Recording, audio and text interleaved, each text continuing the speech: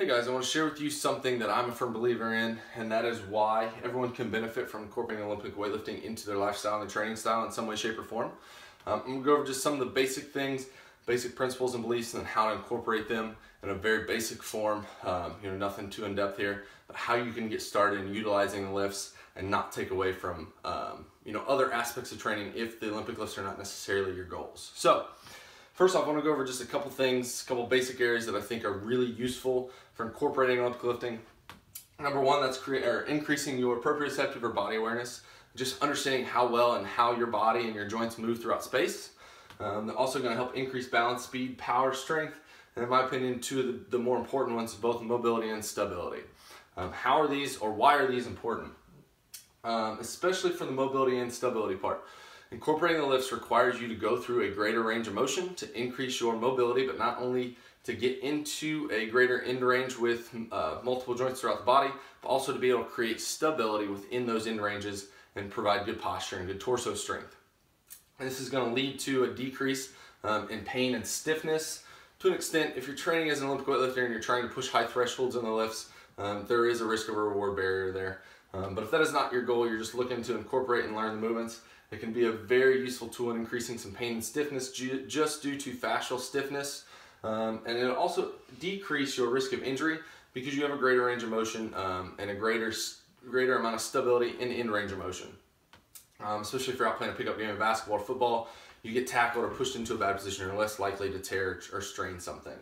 Um, it's going to increase your strength. Uh, this is going to carry over uh, into a couple different aspects. One, your training style, obviously.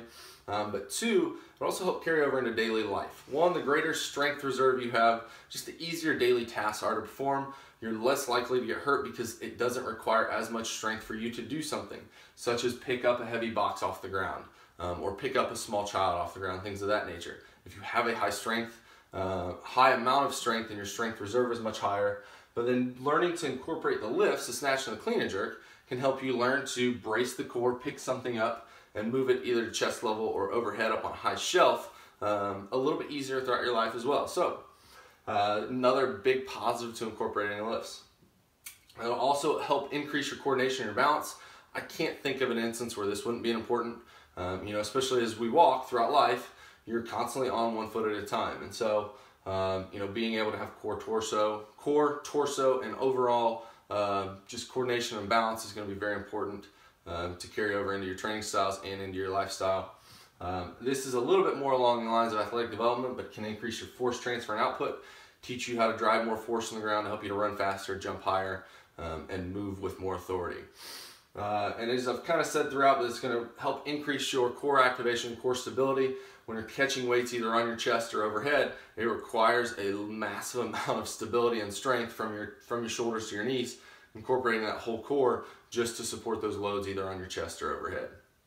Now, ways to incorporate these, because again, if you are not an Olympic weightlifter, there's no reason to push them to a high threshold. It's just going to take away from other things that you could be doing to help benefit your goals a little bit more. Um, so some ways to incorporate them. Uh, include one to three of the basic movements into uh, your warm-up or cool down. That could be an empty bar front squat, an empty bar overhead squat, just learning how to receive the bar in a snatch, uh, maybe a snatch balance, things of that nature. The things where we're getting into the positions that are required from the lifts um, with a very unloaded or very low intensity on the, on the bar. Um, generally, I recommend just an empty bar, especially if you're very new to the movements. Once you're comfortable adding some weight over time, um, I would recommend adding them in at the beginning of a lower body or a speed-based training day, um, especially if you keep them for a low uh, volume and low intensity this will help increase your neural drive and your core stability and strength for a heavy squat or deadlift day or something of box jumps or that nature. Um, you will also find a lot of people like to incorporate them in a conditioning aspect. This is uh, um, how they partially, partially became popular through CrossFit. Um, this is okay, but there are better routes to learn the movements in my opinion. Um, if you are going to use them in a conditioning format, I recommend using something as an EMOM. So in every minute on the minute where you're doing two to four reps at a very lightweight, um, that can range anywhere from 5, 10, 15, 20 minute EMOM. I would just go to the point of technique breakdown. You don't want to continue to throw weight overhead or on your chest to drive weight from the ground to those positions in a bad position and ingrain bad movement patterns, bad motor qualities. Um, be cautious. You'll find a lot of uh, people want to incorporate them in a metabolic conditioning uh, session or a Metcon. Again, this is okay, but I would recommend keeping, if you're gonna do so, keep them in uh, five reps or less. Um, this will help focus more on the technique and not worry about just trying to get the weight up any way you can. Um, so again, we're, we're in grading and we're working on uh, quality movement patterns. Uh, this is, again, this is something I'm a firm believer in. Feel free to contact me if you have any questions or you want to dive further into, um, into the subject. I'd love to share with you. I'd love to help uh, give you some more knowledge on what I've learned over incorporating the movements um, with not only myself, but with a lot of my athletes who have a variety of goals. So, hope you guys enjoyed this. Let me know what you think. Give it a thumbs up.